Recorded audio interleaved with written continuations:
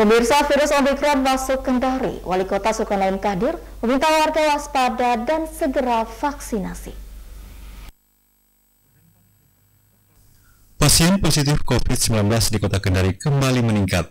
Saat ini 68 orang terkonfirmasi positif, 9 orang mendapat perawatan pada tiga rumah sakit, sementara 59 orang isolasi mandiri di rumah.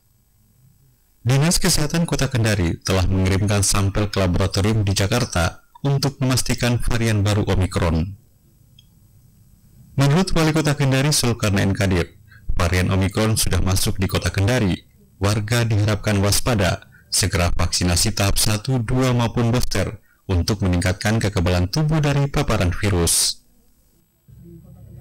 Uh, kita himbau masyarakat untuk percepat vaksinasinya yang baru satu kali cepat dua kali yang sudah lewat dua kali dan mau booster silakan sesuai dengan ketentuan yang ada begitu juga anak-anak kita agar supaya mereka nanti bersekolah beraktivitas itu uh, aman dan bisa terlihat. Warga diimbau disiplin protokol kesehatan saat beraktivitas, memakai masker, menjaga jarak dan mencuci tangan.